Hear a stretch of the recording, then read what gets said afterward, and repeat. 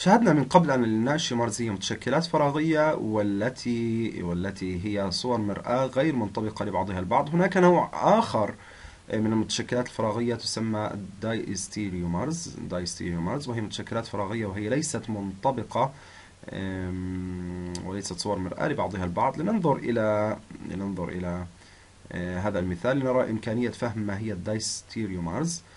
هنا لدينا جزيء لديه مركزين كايرليان هنا واحد للكربون المتصل مع ال OH إذا هذا مركز كايرلي ومن ثم الكربون الموصول آه، مع مجموعة الميثيل هذا هو أيضا مركز كايرلي إذا هذا سيكون كربون واحد مع OH ومن ثم ومن ثم الكربون الموصول مع مجموعة الميثيل هنا سيكون الكربون اثنان.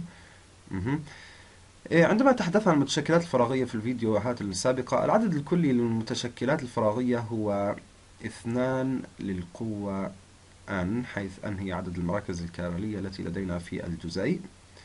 إيه، في هذا المثال لدينا اثنان من المراكز الكارلية.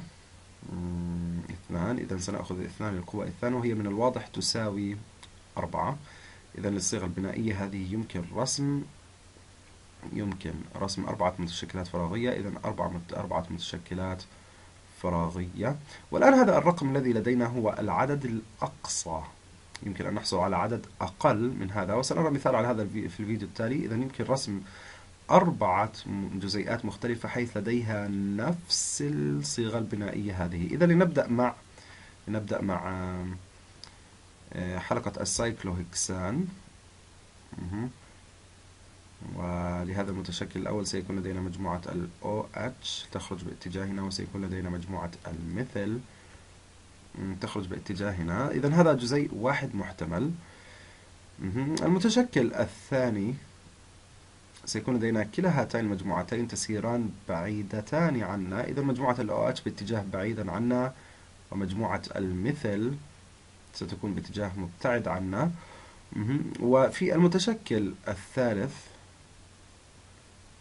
لدينا ال OH تخرج باتجاهية ومجموعة المثل تكون بشكل بعيدا عنا في الفراغ وللمتشكل الفراغي الأخير لدينا مجموعة ال OH تخرج بشكل مبتعد عنا ومجموعة المثل تخرج للأعلى باتجاهنا في الفراغ إذا إذا إذا هذه أربع متشكلات محتملة لهذه الصيغة البنائية.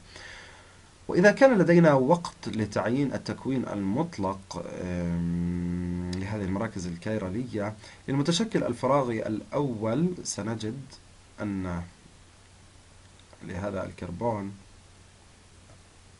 هنا سيكون R هذا هو واحد R وعند الكربون اثنان سيكون عمليا S إذا سيكون واحد R اثنان S وللمتشكل التالي سيكون واحد S واثنان R وللمتشكل التالي سيكون واحد R واثنان R ومن ثم للأخير سيكون واحد S واثنان S إذا يمكننا أن نتمرن على التكوينات. وإذا كنا نفكر كيف يمكن تصنيف الأربع متشكلات فراغية ننظر إلى أول مثالين ونقول كيف هذان الجزيئان مترابطان مع بعضهما البعض؟ لنذهب هنا وننعش ذاكرتنا حول الإنان شمارز. الإنان شمارز لديها تكوينات متعاكسة عند كل المراكز الكارالية إذا أحيانا نفكر بهم ككونهم صور مرآة وأحيانا سيكون من الأسهل أن ننظر إلى الهيكل ونتساءل كيف يمكن مقارنة الهيئات عند كل المراكز الكيرالية ويمكن رؤية أنه عند الكربون واحد. نبدأ مع وتد هنا على اليسار من ثم نبدله بالشرطة على هذا على اليمين وهذا يغير التكوين الحقيقي. عند الكربون واحد من R إلى S إذا عند الكربون واحد لدينا آه، تكوين معاكس عند المراكز المركز الكيرالي عند الكربون اثنان هنا على اليسار كان لدينا وتد ومن ثم حولناه إلى شرطة هنا. إذا صرنا من S عند الكربون اثنان إلى R عند الكربون اثنان. إذا لدينا إذا لدينا اثنان ثابتة عند كل المراكز الكيرالية في هذا الجزيء إذا هذان الجزيئان آه، هما صور مرآة لبعضهم البعض ليست صور مرآة منطبقة لبعضها البعض.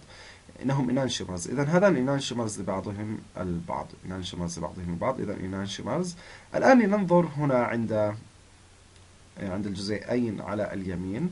نرى أن لدينا وتد عند الكربون واحد. ويتبين أنه R وهنا لدينا شرط عند الكربون واحد. وهو S إذا لدينا تكوين ثابت ومعاكس عند ذلك المركز الكيرالي عند الكربون اثنان. إيه، صرنا من شرطة في R إلى وتد في S إذا مرة أخرى لدينا تكوين معاكس عند كل المراكز الكرالية إذا هذان الجزيئان هنا سيكونان سيكونان أمثلة على ال enantiomers إذا هم صور مرآة لبعضهم البعض.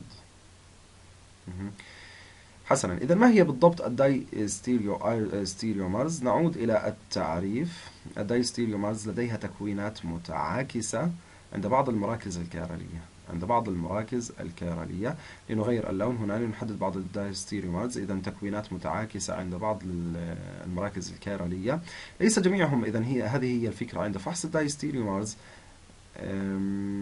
لنقارن لنقارن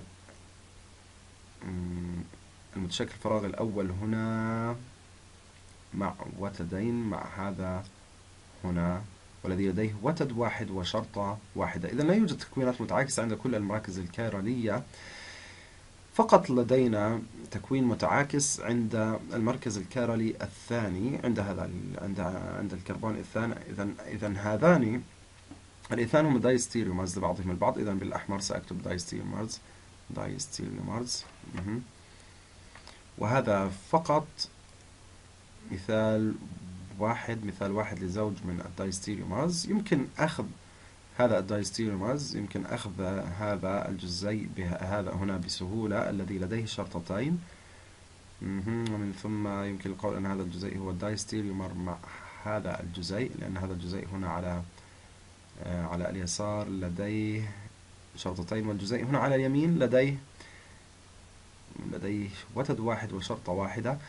إذا لا يوجد تكوينات متعاكسة عند كل المراكز الكيرالية لهذا هم diastereomers بعضهم بعض إذا إذا أخذت واحد من الجزيئات الأولى هنا على اليسار وقارنته مع واحد من هذه الجزيئات على اليمين هذا هذا سيكون آه، زوج من ال diastereomers آمل أن هذا واضح وضح الفرق بين آه، الأنواع المختلفة من المتشكلات الفراغية. لنقوم بعمل خلاصة سريعة للمتشكلات بحيث يمكن مقارنة كل الأنواع التي تحدثنا عنها إلى الآن.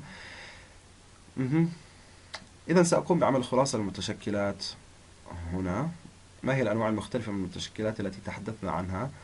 حسنا في الفيديوهات الأولى تحدثنا عن الجزيئات التي لديها نفس الصيغة الجزيئية لكنها تختلف من ناحية الصيغة البنائية. لها نسمي هذه هذه التشكل البنائي.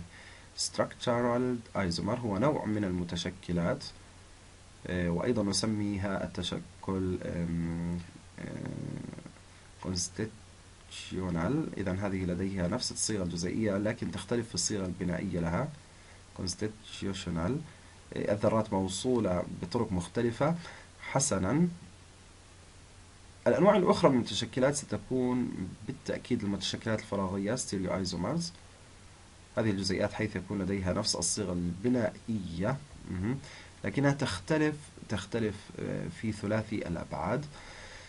إذا عدنا هنا ونظرنا إلى الصيغة البنائية التي رسمناها هنا كنا قادرين على رسم أربع متشكلات فراغية مختلفة والتي لديها نفس الصيغة البنائية. إذا هذه فكرة المتشكلات الفراغية. لديها نفس الصيغة البنائية لكن من ناحية من ناحية كيف تكون هذه الذرات في ثلاث الأبعاد فيمكن عمل جزيئات مختلفة إذا نفس الصيغة البنائية لكن تكون جزيئات ثلاثية الأبعاد مختلفة. هناك نوعين من المتشكلات الفراغية التي ناقشناها. الإنانشومرز إذا لدينا الإنانشومرز هنا. ومن ثم نعلم أنها صور مرآة غير منطبقة. ومن ثم لدينا من ثم لدينا دايستيرومرز. diastereomers. diastereomers. diastereomers. التي تعني أنها غير منطبقة وأنها ليست صور مرآة آه، لبعضها البعض. وأحيانا عند عمل diastereomers يكون هدفنا هو التفريق بينهم وواحدة من الطرق لعمل هذا هو تحويل ال enantiomers إلى diastereomers آه، وال diastereomers لديها خصائص فيزيائية مختلفة فهي أسهل للتفريق بينها ويمكن إعادة تحويلها إلى ال enantiomers هذه طريقة واحدة للفصل بين ال enantiomers إذا قمنا بعمل خلاصة عن المتشكلات آه، عن المتشكلات وتحدثنا عن الفرق بين ال enantiomers وال diastereomers في الفيديو التالي سنتحدث عن آه، مركبات الميزو.